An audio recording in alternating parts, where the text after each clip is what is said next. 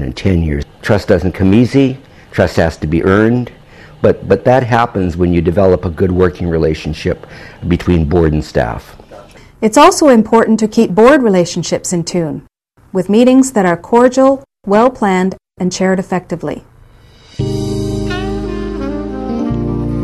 If you're on a board where people aren't clear about what their roles are, um, and there's a lot of disagreement, shall we say, um, it's a very frustrating experience, and that's when you tend to lose interest. You do want to get members to come, and how do you get them to come? By, by having meetings for which uh, the board is well prepared, for which the members themselves are prepared, they know what they're going to be asked to decide, uh, what their contribution is going to be. They're well organized, they don't run till 2 o'clock in the morning. Um, they don't look like question period in the House of Commons. We obviously don't want to have conflict with everything we discuss, but we want to generate discussion when it's appropriate and encourage discussion and recognize that a disagreement isn't a bad thing.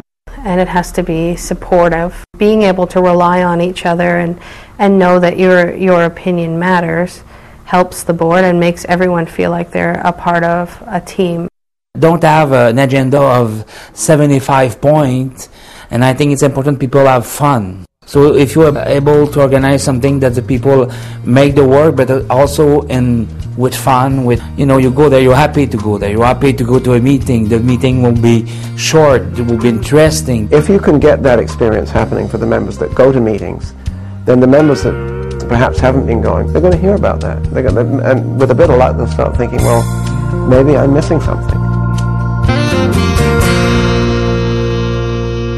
Not enough to say that these are worthy objectives. We have to be delivering tools and uh, education that, that reinforces the message. Good leaders are made, not born, and everybody can develop strong leadership skills. And it's not just the board, I think it starts with the members themselves because we have to remember the co op is the members, and if we don't educate at the bottom, we can't expect to have a good board at the top. If your co-op's having a board of directors training session, then open it up to some of the other members. Let them at least observe it so that they can see what's involved. If it's kind of board basics, then let them in. Encouraging members to attend regional conferences, making sure that they too know what good governance is by making publications and resources available to them. We need to be able to put that message in some format that clearly gets across to our membership in a simple way, in addition to all the other tools that federations have to use. Good communication. It's vital to your role as a decision maker elected by the membership. As a board member, you're entrusted to operate in an open, transparent way. The responsibility of a board member is to make the right decision and then to communicate the decision and the thinking processes and, and, information that went into making that decision to the membership. I mean, a board is like a city council. A board represents the members, and how can they make decisions fully informed without talking to the members? Sometimes it's not always giving good news. I mean, sometimes it's giving news to the members that isn't as good as you'd like it to be. But as long as you're honest about how you're doing it, as long as you give the members the facts, um, then that's the best you can do as a director. I mean, and in fact, it's your duty. A very big part for me of the director's responsibility is to communicate back to the members. But if that's happening, and the directors in the first place are making the right decisions for the co-op, then absolutely it rubs off, and you'll get an engaged community and people who will learn from, from what they see and want to take their part in the co-op's governance. But if all they see is is fighting and backbiting, then they're going to shut their doors on that, and you're going to have problems getting any governance at all. The members that live in the housing co-op also have a responsibility. So when members are asked to elect the board of directors, they should ask the candidates good questions, why they want to run for the board, and take their responsibility um, of electing and choosing their board members seriously. Good governance is everyone's responsibility. It's the key to creating a strong, vibrant cooperative and to preserving our communities for future generations.